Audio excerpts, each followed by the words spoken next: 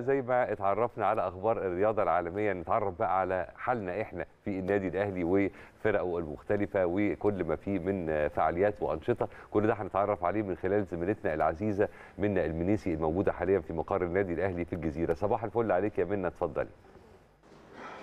يا صباح الخير عليك يا كريم صباح الخير يا نهاوند صباح الخير على كل مشاهدي ومتابعي شاشة قناة النادي الأهلي في كل مكان. يوم جديد من 10 الصبح في الأهلي وأخبار رياضية أهلاوية كمان جديدة. ومن داخل المقر الرئيسي للنادي الأهلي بالجزيرة موجوده علشان انقل لكم آخر وأهم أخبار النادي الأهلي وكل فرقه الرياضية المختلفة إن شاء الله.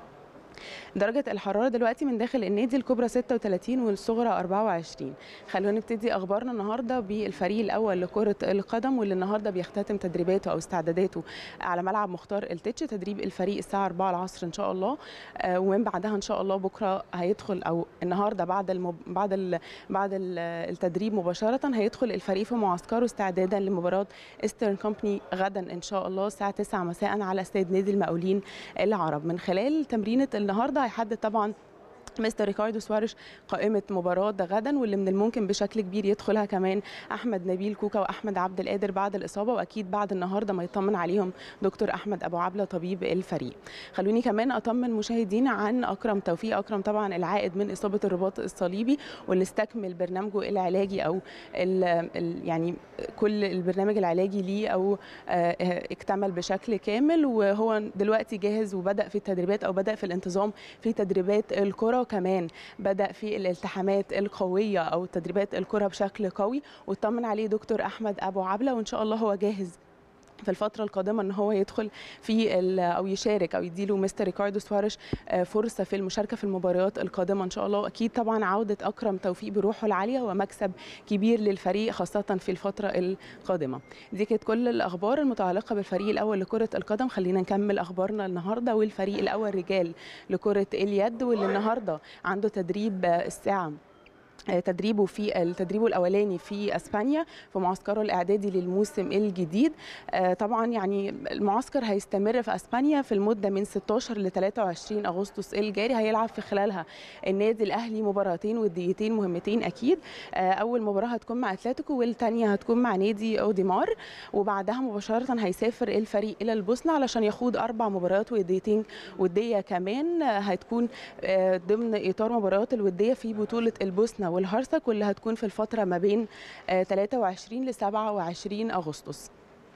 طبعا مستر دانيال جوردو المدير الفني الأسباني للفريق حريص إن هو يجهز فرقته بشكل قوي وإن هو يعني يخلي اللعيبة بتاعته تحتك بالمدارس المختلفة لكرة اليد علشان تتدرب بشكل أقوى وتكون جوه الملعب مع مدارس رياضية مختلفة.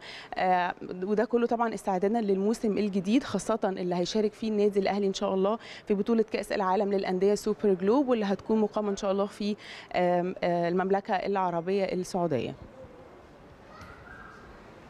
استكمالا لأخبارنا النهارده والفريق الأول لكرة السلة رجال واللي أخيرا إن شاء الله هيبتدي النهارده أغ... هيبتدي النهارده فترة الإعداد للموسم الجديد واللي النهارده إن شاء الله هيبدأها بعد عودة مستر أوجستي بوش المدير الفني الأسباني للفريق بعد أجازته ما خلصت وهيبتدي الفريق بشكل قوي خاصة إن الموسم هيكون قوي وأبرز البطولات اللي هيشارك فيها النادي الأهلي الموسم ده بالنسبة لرجال كرة السلة هي بطولة إفريقيا.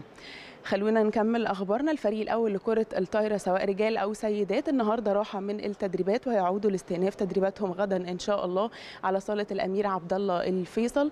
استعدادا للموسم الجديد بشكل قوي وطبعا هيكون في داخل التدريبات سواء للرجال أو السيدات الصفقات المهمة الجديدة الكتير اللي حرص عليها النشاط الرياضي كمان إن هو يكون بيجدد عقود اللاعبين سواء القدام اللي كانوا موجودين أو حتى الصفقات القوية الجديدة والمحترفين. نتمنى لهم أكيد كل التوفيق.